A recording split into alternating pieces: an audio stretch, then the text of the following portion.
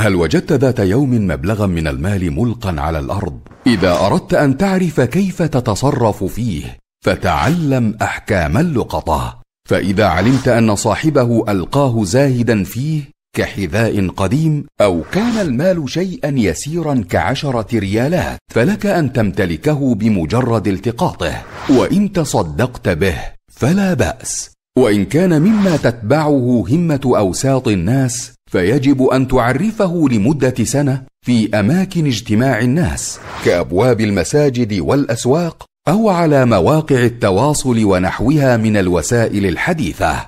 وإذا لم يأت صاحبها بعد تعريفها سنة ملكها واجدها ولكن يعرف صفاتها جيدة وله أن يلتقط لها صورة لضبط صفاتها قبل التصرف فيها. بحيث لو جاء صاحبها في أي وقت ووصفها ردها إليه إن كانت موجودة أو رد بدلها إن كانت قد استهلكت. أما لقطة مكة فلا يمتلكها لاقطها أبدا مهما طالت مدة تعريفها لقول النبي صلى الله عليه وسلم ولا تلتقط لقطتها إلا لمعرف. وإن سلمها للجنة الرسمية الموكلة بحفظ اللقطة برئت ذمته ولا يقدم على أخذ اللقطة إلا من عرف من نفسه الأمانة على حفظها والقوة على تعريفها. وإن كانت اللقطة حيوانا كبيرا يستطيع الدفاع عن نفسه ضد الحيوانات المفترسة كالجمل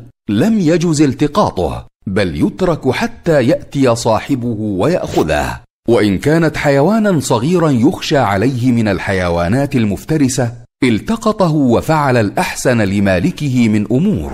واحد أن يأكله فإذا جاء صاحبه بعد ذلك أعطاه قيمته.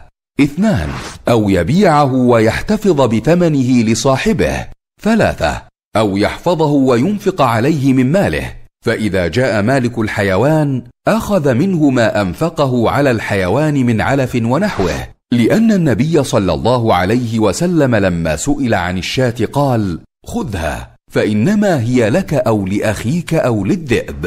فإذا لم يأت مالكه بعد انتهاء مدة التعريف امتلكه لاقطه كما سبق. وإن كانت اللقطة شيئا يسرع إليه العفن أو الفساد كالفاكهة فإما أن يأكلها ويحفظ قيمتها لصاحبها وإما أن يبيعها ويحفظ ثمنها لصاحبها. فحافظ على اللقطة فإنها أمانة. والحفاظ عليها من صفات المؤمنين والذين هم لأماناتهم وعهدهم راعون.